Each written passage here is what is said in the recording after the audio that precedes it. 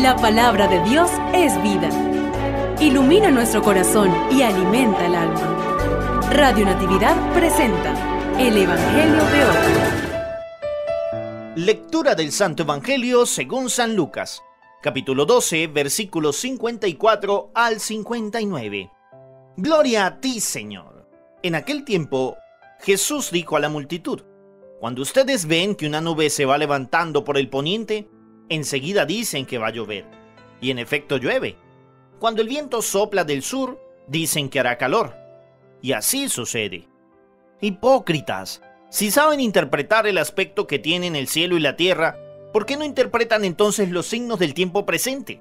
¿Por qué, pues, no juzgan por ustedes mismos lo que les conviene hacer ahora? Cuando vayas con tu adversario a presentarte ante la autoridad, haz todo lo posible por llegar a un acuerdo con él en el camino, para que no te lleve ante el juez, el juez te entregue a la policía y la policía te meta en la cárcel. Yo te aseguro que no saldrás de ahí hasta que pagues el último centavo. Palabra del Señor. Gloria a ti, Señor Jesús. Un saludo de paz y bien para todos aquellos que nos escuchan a través de Radio Natividad, la emisora católica del Táchira, donde queremos ser parte de esa buena noticia de la fe. Hoy, queridos hermanos, hemos escuchado en el Evangelio una expresión fuerte de parte del Señor, hipócritas. Y la hipocresía no es otra cosa que decir algo y hacer lo contrario. Mostrar nuestras mejores capacidades y actitudes para una cosa y ocultarlas para otra. Y hoy el Señor coloca un ejemplo. Somos buenos interpretando el clima. ¿Qué calor va a ser hoy? Hm, hoy va a llover.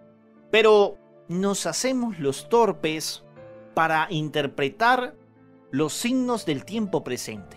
Para interpretar lo que nos está alejando de Dios y acercando a la tentación y al pecado.